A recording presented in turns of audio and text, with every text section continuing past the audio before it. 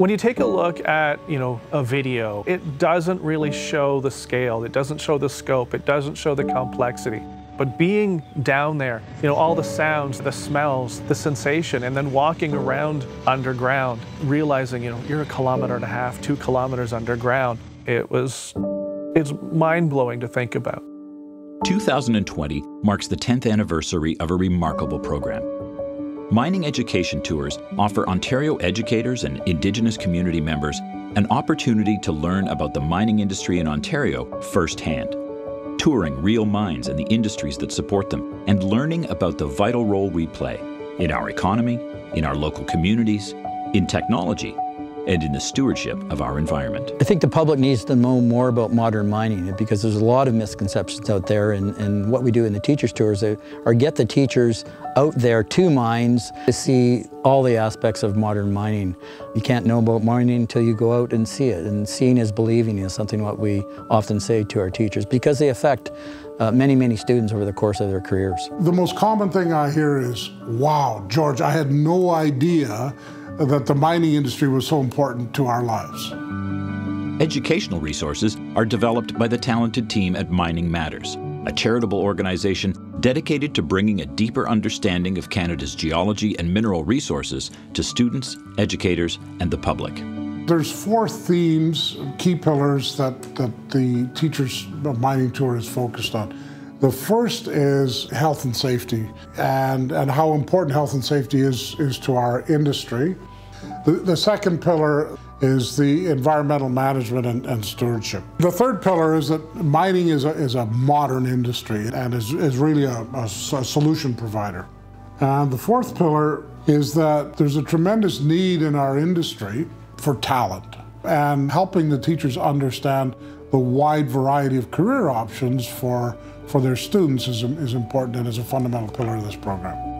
Essentially, we take the teachers underground to connect them with what they see at the surface and in the mine with what they can teach their students in the classroom and with the curriculum. We provide them with educational resources that inform and inspire students.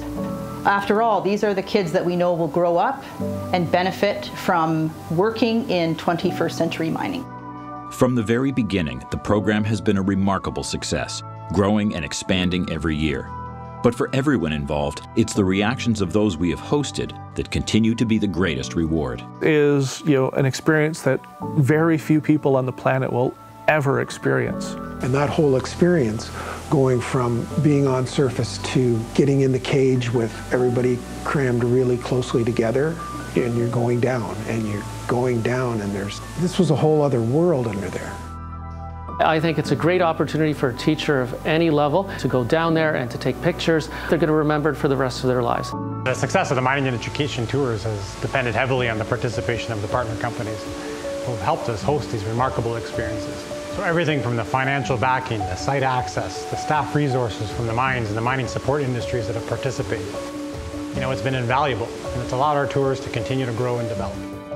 Collectively, we now offer three scaffolded mining tour experiences. So the Foundations Tour is delivered principally at the Canadian Ecology Centre in Mattawa.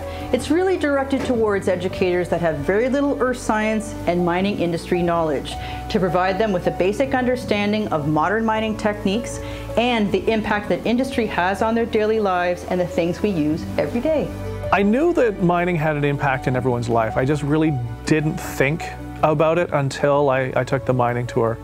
And then I started to realize all the connections, everything in our homes, everything in our cars, everything that I see has a connection to the mining industry. It's processed, it's, it's put together um, from mining. The Mine Life Cycle Tour focuses on either the Sudbury or Timmins mining camp. It tells the story of the complete life cycle of a modern mine ranging from prospecting through to development and operations to eventual completion, reclamation, and closure of the mining operation. I thought I knew a fair bit about it, but it was old mining, and new mining is different than old mining. And our Life in a Mining Camp tour provides participants with the experience of living in a real mining camp and exposes them to the vast array of careers that are available in the modern mining industry. And there's certainly much more opportunities for automation. And when there's automation, we need more engineers, we need software developers. Uh, so there's so much opportunity there. 10 years has accomplished a remarkable amount, but it's only the beginning. Well, the reaction we get is, is one uh, almost universally of, of enthusiasm. It's amazing how much of what we do is actually new to them. They've learned something new, they're eager to take it back to their students. I feel that we're making important inroads into the public perception of the mining industry. To learn more about mining education tours, contact the Canadian Ecology Centre, Mining Matters, or the Ontario Mining Association.